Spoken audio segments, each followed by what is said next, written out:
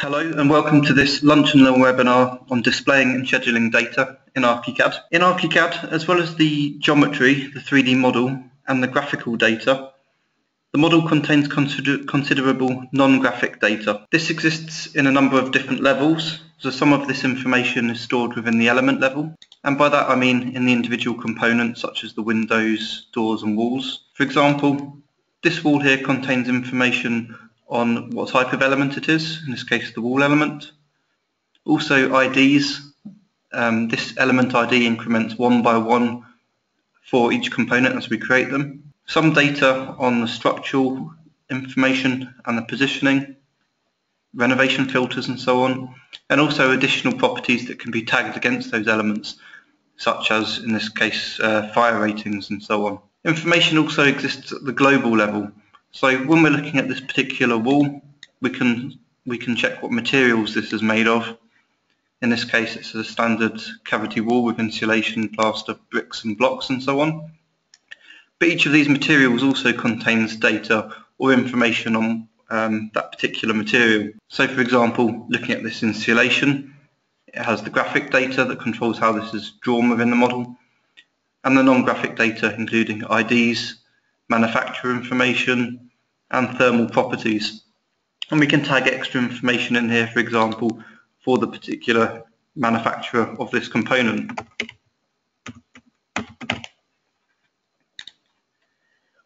The idea is as well as being able to take the 2D drawings them from this model for the sections, elevations, details and so on, we can take the data from the model and this can be presented in a number of different ways. First of all, we'll have a look through the element schedules, which creates lists of different components that exist within this model. So for example, this door schedule. So this door schedule is listing all of the doors within the model. And we can see that the door type is listed, the overall dimensions of that particular component, the fire rating and the quantity. So some doors, such as this one, has uh, a quantity of 9 and we can see there's 9 of this within the model. We also have a preview for, for the elevation of this door and that gives us an illustration within this particular schedule. To control the information that's displayed in the schedule, we can go into the scheme settings at the top. The scheme controls which elements are displayed, so in this case all door types, and also which properties are displayed for that particular door. We can add further fields either as parameters or properties from those components, things that are specific to those library components. Or if we're working with IFC data, we can link the IFC properties for those components too. To control the display of the schedule, we can open up the display settings at the side. That controls whether we're displaying the data in rows or columns. So in this case, we're displaying the data for each element by column. The text styles, and also information uh, display properties that relate to particular parts of the schedule, such as this preview. In this case, we're displaying these door elevations at a 1 to 50 scale. Editing the components is bidirectional, so we can either edit those in the model themselves, or we can select them in the schedule and edit them in here. So for example, we can change the fire ratings in the schedule, and that will update the information back in the model as well. We can also see which elements we're working with at that particular time. So if I select a door in the schedule, we can go and see it on the floor plan view, and that zooms in and selects that particular door. Or we can view it in the 3D model.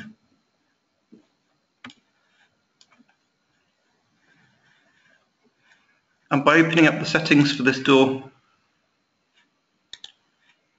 we can check the properties against this particular element and this is the fire rating that's linked through into the schedule. Now this particular schedule has nine of this door type and that's because we're merging together the uniform types. If we untick that checkbox, they're now listed individually. Whereas if we do merge the uniform items, any elements where all of the properties that are displayed are exactly the same will be grouped together in this way. The schedule also allows us to create annotations. These illustrations automatically have dimensions added for their width and height, but by clicking the annotate button we can create our own annotations within this drawing. We can draw over the top and we can add our own dimensions, for example, for the handle height.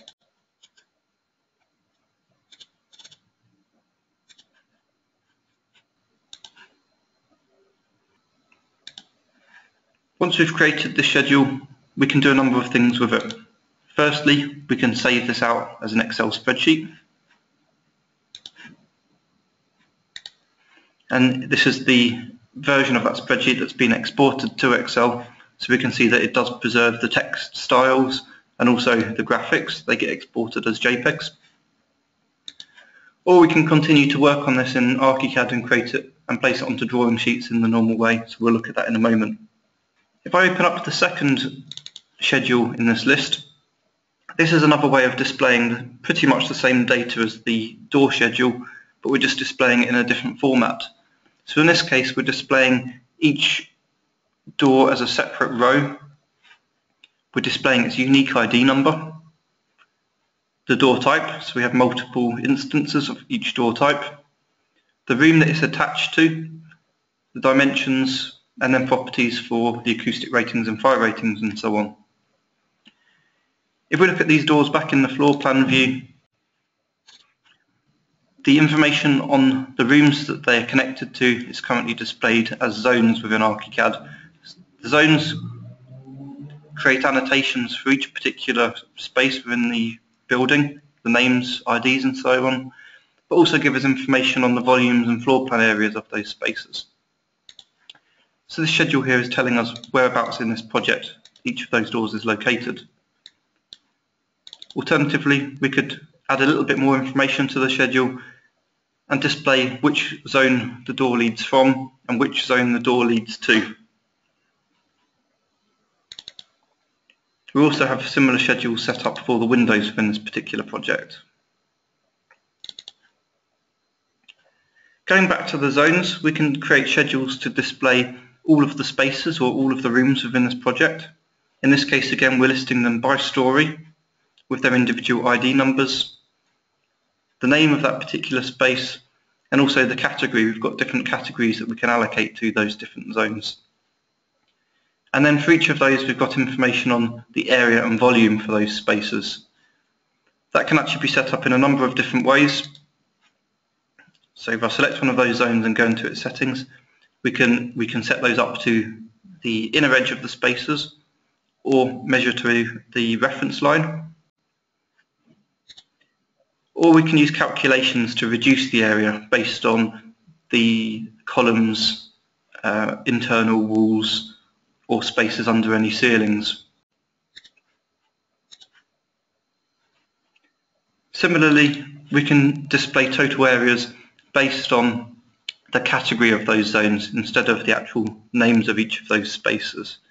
In this case, we're displaying each of the zones by category on each story, the areas of each of those, and then the total area for each story.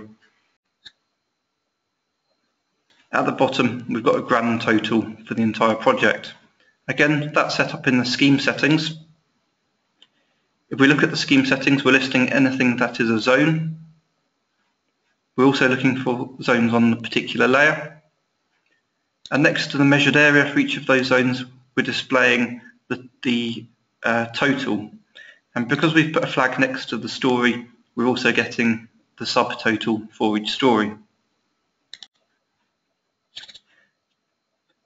Next, we've got some schedules set up for particular components or particular objects within this project. So we've got some set up for sanitary ware, Again, this time we've got different types of preview, floor plan and elevational previews.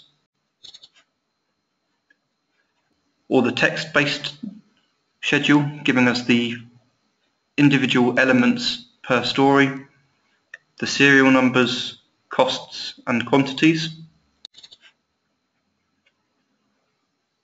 And further data for each of those components um, so information on the particular manufacturer where um, and linking to those websites. The final element schedules we have within this project are for the blinds. So these are actually manufacturer specific objects and we have properties in here that are specific to those particular elements. So in this case, the fixing of those components, whether it's inside the reveal in this case, or on the wall itself, the control mechanisms and how that should be fitted, the operation type, and the product specification. So this can help when ordering those components, but also help when fitting those, giving us information on how they should be installed. And underneath, we have a separate schedule to also assist with the installation.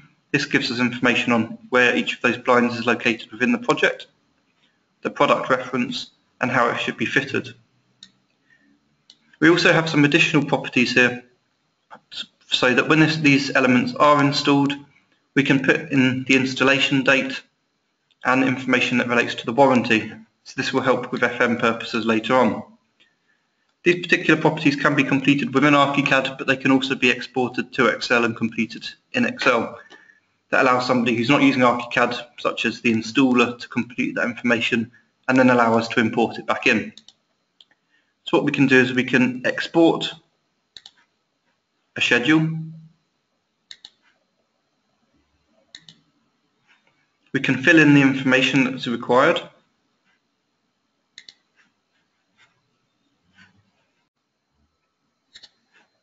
and then back in ArchiCAD we can import the schedule back in.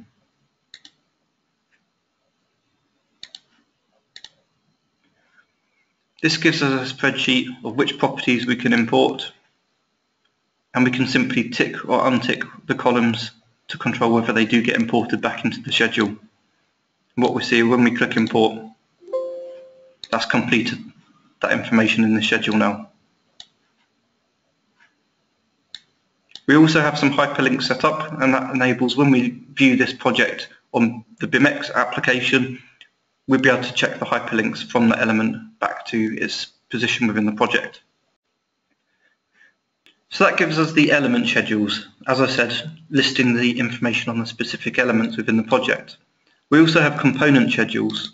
So component schedules, instead of listing individual elements, give us information on what they're made of. So in this case, we've got a schedule that lists all of the materials within the project and the volumes of each of those. This schedule is simply listing anything that isn't an airspace material and we want information on its name and the volume. We could list them by classification so we can see exactly which element types those materials are formed from by each individual component.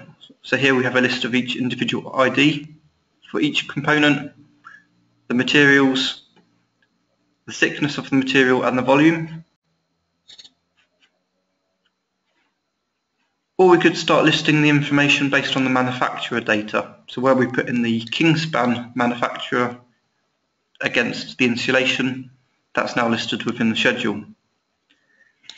The third type of schedule in ArchiCAD relates to the finishes. So instead of looking at the actual building materials that the elements are made from, we can look at the surface area of those components and any finishes that need to be applied.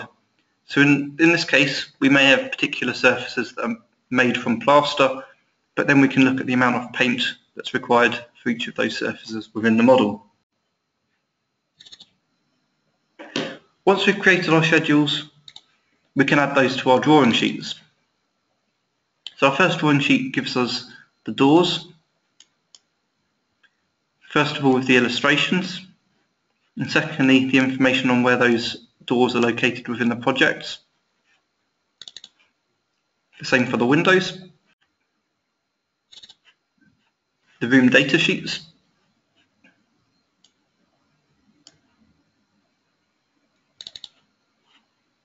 and the sanitary ware. Now this particular schedule is too large to fit on the page. So what we can actually do is start to drag around the boundaries of this um, drawing on the page to try and get it to fit. So in this particular case, there isn't a way that we can configure this that the entire thing is going to fit, fit on a single page. What we can do we can ask ArchiCAD to split that drawing across multiple pages, multiple layouts. So as soon as we've done that, the graphic updates telling us that this is now split over multiple pages. And at the bottom of the screen we can scroll to the next page and that shows us the rest of the schedule. If later on we add any additional sanitary ware to this project, that would automatically create additional drawing sheets as required. Next we've got information on the blinds. We can update this particular drawing and that will give us the information that we imported from the spreadsheet on the installation dates and the warranty dates. The schedules that relate to the materials and the surfaces within this project. Another way that we can display the data in the model as well as the schedules is by using the label and annotation tools. So here for example we can see that each window has a unique ID number and that's automatically been added to this drawing.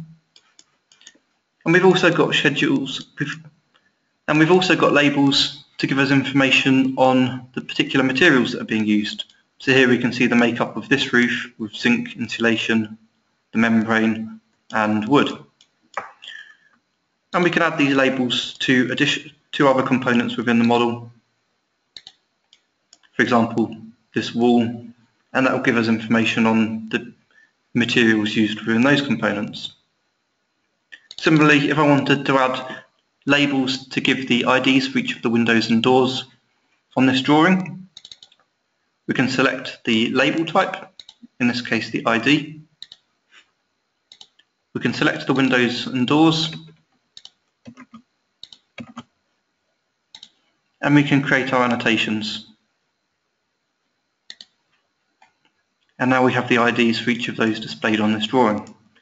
Again, this is bidirectional, so if the ID of those components does change, that will automatically be updated on this drawing as well as in the schedules.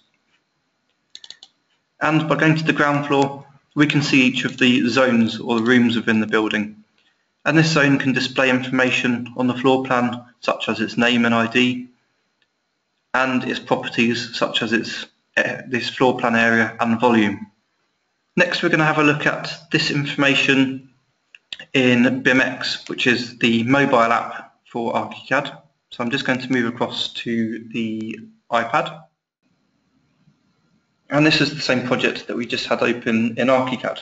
So this enables us to look at the 3D model but also take through drawing sheets such as the schedules which we've already looked at and if we do go across to the model, we can navigate around and by clicking on any particular component, we can get the relevant information that we want to display on this. So during export to BIMX, we can control exactly which properties get exported to BIMX. In this case, for the window, we've got the ID numbers, the dimensions. Uh, the cost hasn't been completed for this. If this were input, this would update in the model. And if we just walk into the model and we find another element,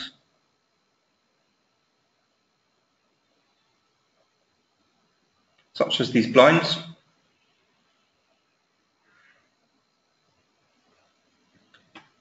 Here we have the information that we looked at in the ArchiCAD schedule. It's giving us the information on the manufacturer, manufacturer for the blind, product references, a URL so we can link directly to the manufacturer's website, and the installation date and warranty information that we input through a spreadsheet.